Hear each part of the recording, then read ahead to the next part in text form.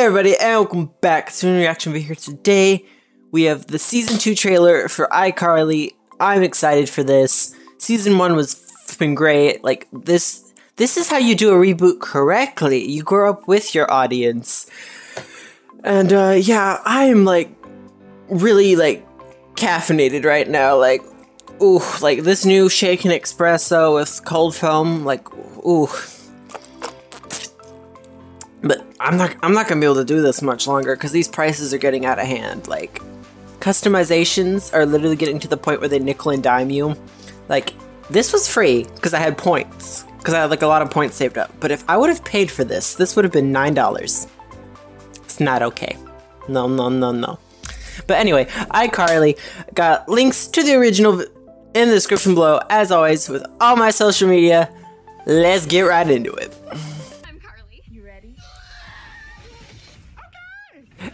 Hey, the smoothie bar's back. One, two. I don't think that was in season one. Okay. You probably should have gone over it before. I'm in a hot, hot. Hopefully we get more of the web show. Because the web show wasn't too much in the the first season. Josh from Drake and Josh. The most successful web series in history. Duh. Unicorn pajamas. Did you see he's dabbing? Damn. That is so Carly. Work himself up and flail around like a bird with another bird up its ass. Is that another returning character? I feel like we should know who that is. Let me know.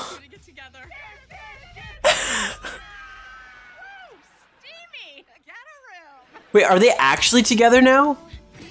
I, I swear, did I forget something last season, or is this like Okay. Spencer's just as crazy as ever, okay.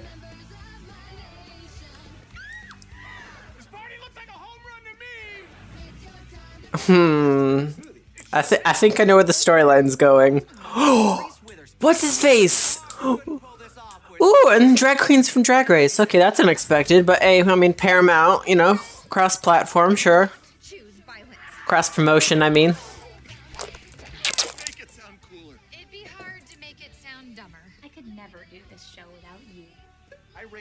Best woman I know, my sister.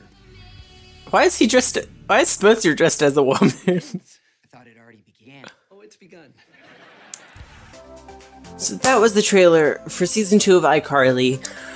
That looks so freaking good. Like, why couldn't we get that this month instead of the shitty Fairly Odd Parents reboot? Like, uh, that that would have been great. But we have to wait till April. Good thing it's, I think if I caught the date right, it's the beginning of April, so it's not too bad considering Fairly Odd Parents is like the week before, so it's not too bad, but I just wish they would have switched those around. But, uh,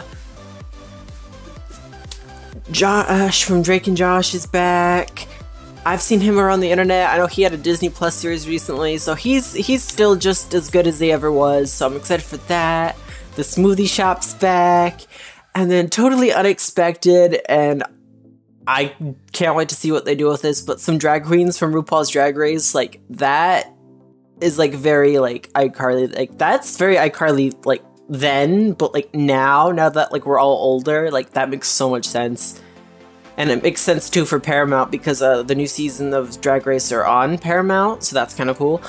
Little cross branding there, you know? And, um, yeah, as for the storyline, if I remember correctly, she was with that guy at the end, but she couldn't quite admit that she loved him. So I'm thinking they break it off.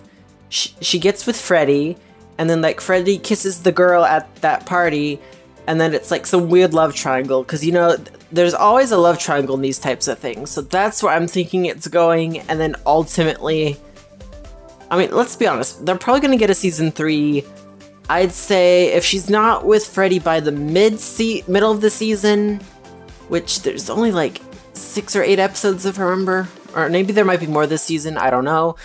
But if she's not by with him by the middle of the season, I'm guessing the ending of the season, and the next season will be like, oh my god, they're a couple, finally, T.